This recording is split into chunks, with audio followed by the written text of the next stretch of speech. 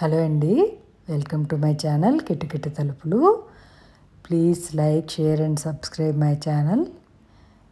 ఈరోజు మజ్జిగ దాహం ఎన్ని రకాలుగా సర్వ్ చేయొచ్చో చూపిస్తాను. ఇప్పుడు జనరేషన్కి అంత తెలియదు కదా అందుకే చెప్తున్నాను. ఇలా వెన్న తీసుకుని తోడుపెట్టి వెన్న తీసుకుని మజ్జిగ అయితే చాలా మంచిది. ఇప్పుడు పిల్లలకి అంత టైము ఉండదు కదా జాబులు చేసుకుంటా. వెన్న తీసిన మజ్జిగ అయితే వెన్న తీసి అలాగా గ్లాసులో పోసి ఇచ్చేస్తే చాలా కమ్మగా ఉంటుంది. అవన్నీ అందరికీ కుదరవు కదా. సో మిక్సీ జార్లో ఎలా చేసుకోవచ్చో చూపిస్తాను. ఒక అర లీటర్ పెరుగు వేసుకోండి. అంటే ఎక్కువ గ్లాసులు చూపిస్తున్నాను కాబట్టి అర లీటర్ వేసి చూపిస్తున్నాను.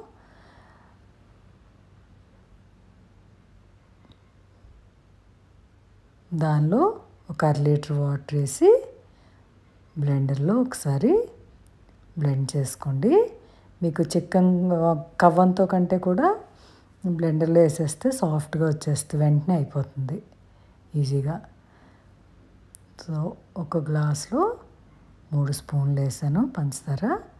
నాలుగు స్పూన్లు వేసినా బాగుంటుంది.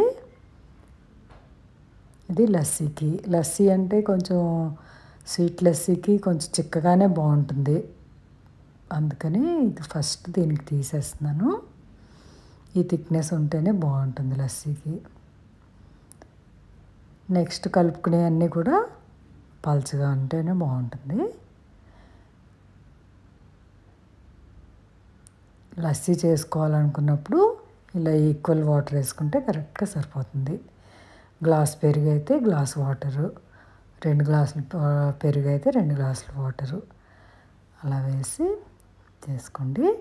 నెక్స్ట్ మిగిలిన మజ్జిగలో ఏంటంటే ఇంకొక అర లీటరు నీళ్ళు పోసాను. అంటే మిగతా వాటికి ఏంటంటే ఒక గ్లాసు పెరుగు అయితే రెండు గ్లాసులు మూడు గ్లాసులు కూడా వాటర్ పోసుకోవచ్చు. అంటే ఒక గ్లాస్ పెరుగుతో నాలుగు గ్లాసులు మజ్జిగ దాహం చేసుకోవచ్చు అనమాట ఇప్పుడు ఒక గ్లాసులో కొద్దిగా సాల్ట్ వేసి మజ్జిగ కలిపేసి ఇలా కూడా తాగొచ్చు.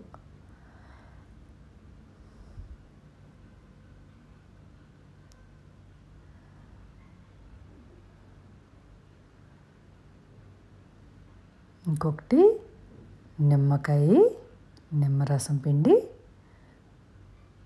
కొద్దిగా సాల్ట్ వేస్తాను. సాల్ట్ వేసి ఇది ఒక రకం అన్నమాట. మజ్జిగ దాహం అని అనుకోకండి జనరేషన్ వాళ్ళు. చాలా మంచిది హెల్త్ ఇంకొకలా కూడా ఆలోచించండి. ఒక కూల్ డ్రింక్ బాటిల్ ఒక రోజు మానే ఒక రోజు మానేస్తే సొసైటీకి ఎంతో హెల్ప్ చేసిన వాళ్ళు అవుతాం. ఒక పెట్ బాటిల్ ఒకటి అవాయిడ్ చేస్తే నేనైతే అలాగే ఆలోచిస్తాను. సొసైటీ అంటే మనమే కదా. మన మంచి కోసం మనం చేసుకుంటున్నాం. ఎవరి కోసం కాదు కదా.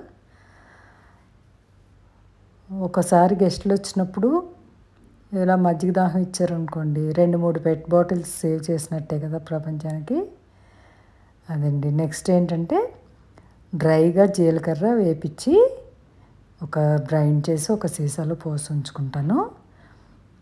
పొడి మొక్కట్లో వేపించి పొడిని చేసి ఒక సీసాలో వేసుకోండి.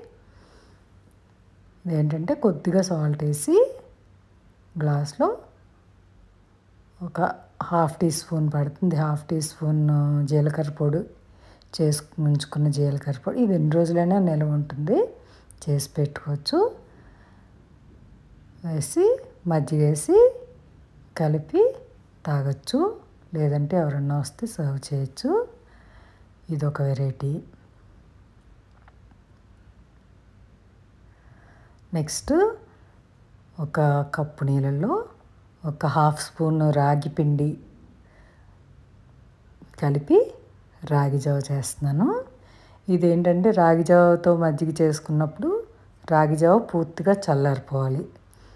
చేసి ఒక గంట పక్కన పెట్టేసుకుంటే ఉడికిన తర్వాత బాగా చల్లారిపోతుంది.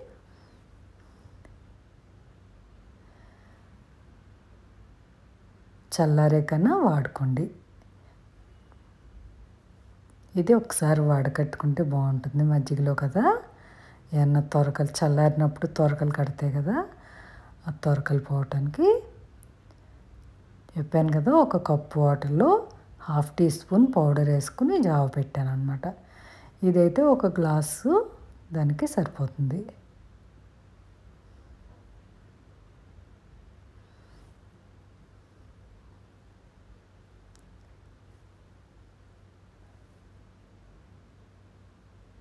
దానిలో కూడా కొద్దిగా సాల్ట్ వేయాలి.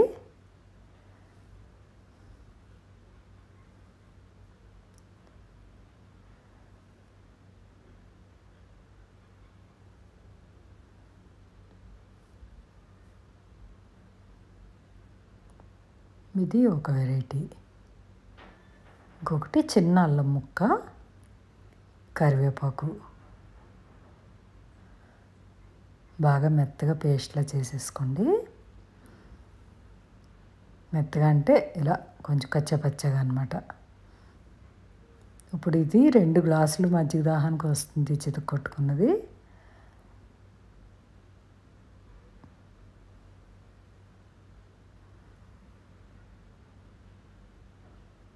ఇవన్నీ మా చిన్నప్పుడు మేము తాగిన రకాలన్నమాట.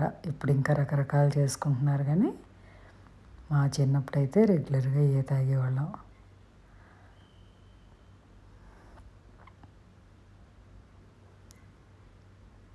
మెయిన్ ఇప్పుడు జనరేషను పెట్ బాటిల్స్ అవాయిడ్ చేయడానికి ఇలా స్టార్ట్ చేసి చూడండి.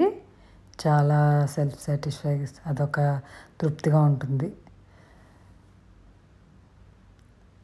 అదే అలవాప్పుడు మజ్జిగ తాగటం నిమ్మరసం తాగటం అన్నీ అలవాటు అవుతాయి ఆటోమేటిక్గా.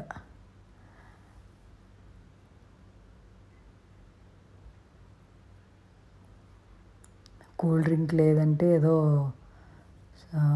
అదో ఇన్సల్ట్ చేసినట్టు అలా ఫీల్ అవుతారు కూడా కొంతమంది.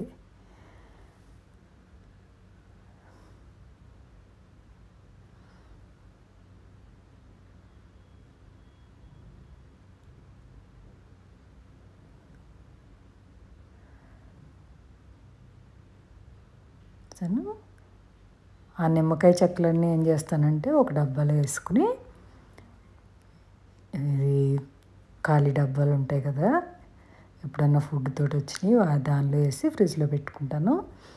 గట్టు క్లీన్ చేయడానికి ఒక్కొక్కసారి వాషింగ్ మిషన్లో కూడా ఒక్కొక్కటి వేస్తాను.